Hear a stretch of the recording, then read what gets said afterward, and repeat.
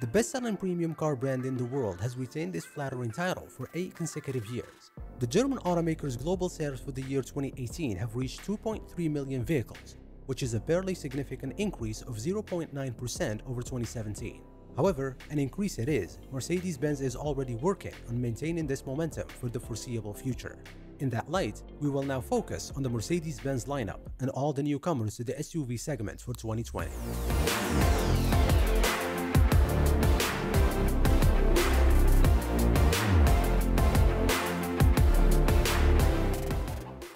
The 2020 Mercedes-Maybach GLS Another Maybach SUV is ready to take the automotive luxury market by a storm. The new Maybach GLS 600 4MATIC is a permanent member of the Double M family. At the front, the full-size SUV features a shiny new grille with vertical chrome pinstripes as seen on the Maybach S-Class facelift and its extra-long Pullman sibling. The chrome theme continues on the lower grille as well as on the side air intakes flanked by curved stripes, while the underbody protection reminding you that this is still an SUV is also finished in high-gloss chrome. The side profile reveals bespoke 22-inch alloy wheels, although most buyers will go for the optional 23-inch set with its multi-spoke layout mimicking the front grille. To continue the chrome theme, there are chrome plates on the B-pillars and even similar inserts on the roof rails. A total of 8 two-tone finishes will be available with the Maybach emblem proudly displayed on the D-pillar.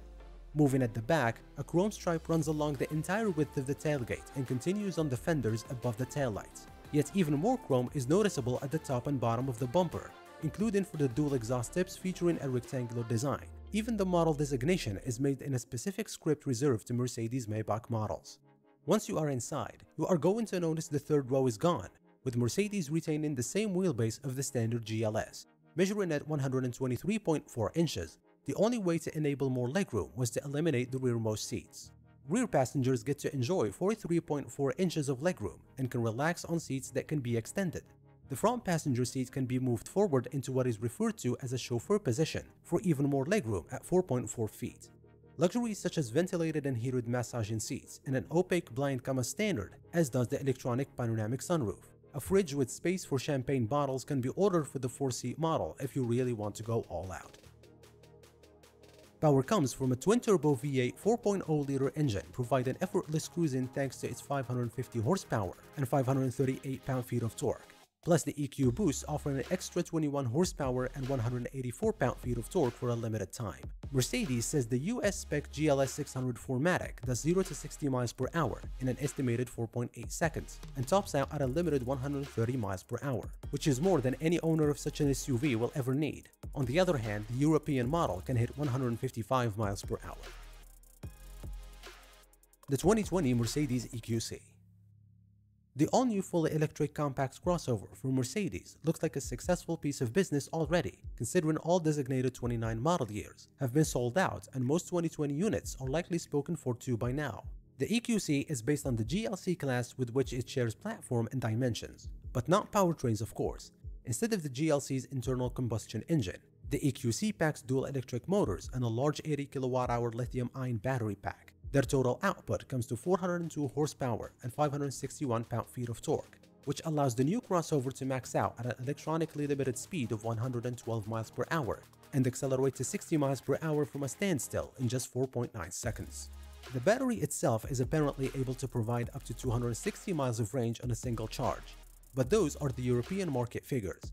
The EPA will likely be more strict with it, but the EQC is still expected to deliver well north of 200 miles of range. A 7.4 kilowatt onboard charger is a standard piece of equipment and can endure up to 110 kilowatts from a public station, which can refill 80% of the battery in about 40 minutes. The EQC's prices still haven't been disclosed to the general public, but it's believed that they are in the range of between $70,000 and $90,000. Pre-orders have already been conducted last year, and the EV has apparently entered the production phase in mid-2019. Apart from this, the all-electric crossover provides a level of refinement we are accustomed to when it comes to Mercedes. A list of available features is also long, and given the EQC's hefty price tag, probably even richer than its platform-sharing GLC sibling could boast. The interior itself, however, dons a different theme than is usually the case with plush Mercedes-Benz models by adopting a more contemporary style that relies heavily on touchscreen displays. Overall though, it will more than likely give any Tesla a run for its money the 2020 Mercedes-Benz G-Class. The iconic G-Class has finally received its first major update in late 2018, after being on the market for almost 30 years. The epitome of boxy styling, toughness, and off-road performance, however, still resembles the original which first left the assembly line in 1979. The second generation G-Class SUVs are, however, slightly larger and more spacious. They are also much more refined inside, and riddled with available convenience and tech features. The G-Wagon's hefty price tag of $125,000 represents a considerable obstacle. However, at $150,000, at least the AMG version isn't as expensive as the S-Class AMG. It's important to remember that the new G-Class sports an independent front suspension which improves on-road ride quality, but impacts its overall off-road capability. Furthermore, there is only one off-road mode in the G-Wagon's drive mode selector. Although it's still more than capable on dirt, the old models were definitely better. The base G-Class SUV is powered by a 4.0-liter twin-turbo V8 capable of raising 416 ponies and 450 pound-feet of torque. The AMG-tuned model, on the other hand, squeezes 577 horsepower and 627 pound-feet of torque from the same mill. If that's too much of a gap for you, another tuner house specializing in Mercedes-Benz models offers a remedy. The Brabus version of the base G550 cranks up 493 horsepower and 524 pound-feet of torque, a whole 77 horsepower and 74 pound-feet of torque more than the original. The 2020 Mercedes-Benz GLE The new Mercedes-Benz GLE just received an extensive design overhaul, both inside and out, and it's now even more luxurious and better equipped. What's more, it has finally gotten rid of their predecessor's bumpy ride quality and poor fuel economy. Style-wise, the outgoing model's refined sharp proportions are swapped with a much softer tone. The grille is larger the Mercedes logo is still located front and center, and depending on the trim, the GLE's fascia wears either a single central chrome bar or a pair of them. The body itself is slightly beefier than the previous model, wider by half an inch and longer by 4 inches, and more rugged too. The base model wears plastic fenders that gives it a more robust appearance. It's a fine looking SUV, but a little too safe. At least the outgoing model has some sharp angles to offset its more generic design elements. The rear end isn't any special either with little design elements to make it stand out. As a Mercedes staple, it has one of the most luxurious interiors around with excellent craftsmanship, solid feeling hardware, and mostly first-class materials. It comes with the all-new Mercedes-Benz user experience infotainment system.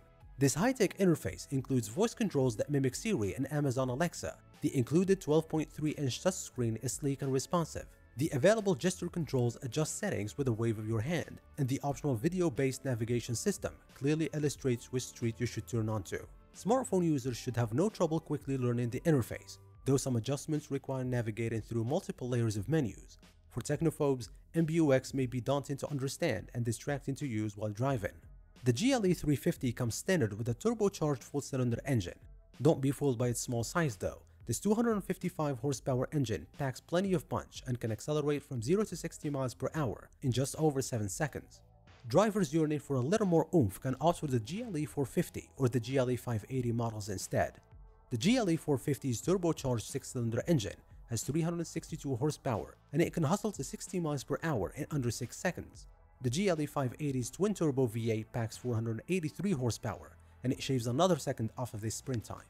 Both of these engines are paired with a 48-volt mild hybrid system and an electric motor, referred to as EQ Boost, that adds up 21 horsepower for short periods of time and improves fuel efficiency. A 9-speed automatic transmission is standard with all models. The 2020 Mercedes-Benz GLC With the refresh of the all-new GLE, it's only natural for a facelifted GLC to arrive as well, Having debuted in 2016, the smaller lineup of crossovers is still too recent for a full makeover, but revised front and rear ends, together with some interior changes, are now a necessity. Needless to say, that's pretty much exactly what the Germans have offered. The compact SUV has found just shy of 70,000 new homes in the US during 2018, which makes it one of the company's better sellers and further underlined the need for a facelift. Considering it coincided with the next generation GLE's appearance, this mid-cycle update actually borrowed a detail or two from the larger line.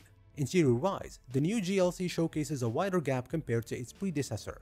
The new MBUX user interface with a 10.25-inch touchscreen and standard Apple CarPlay and Android Auto is a large part of that thought. Reshaped center console and new trim and upholstery also play a role. The base GLC class models get a new 2-liter turbocharged four-cylinder engine worthy of 255 horsepower and 273 pound-feet of torque. The GLC 350E, which adds a battery and an electric motor for a combined plug-in output of 315 horsepower and 413 pound-feet of torque is expected to carry over mostly unchanged.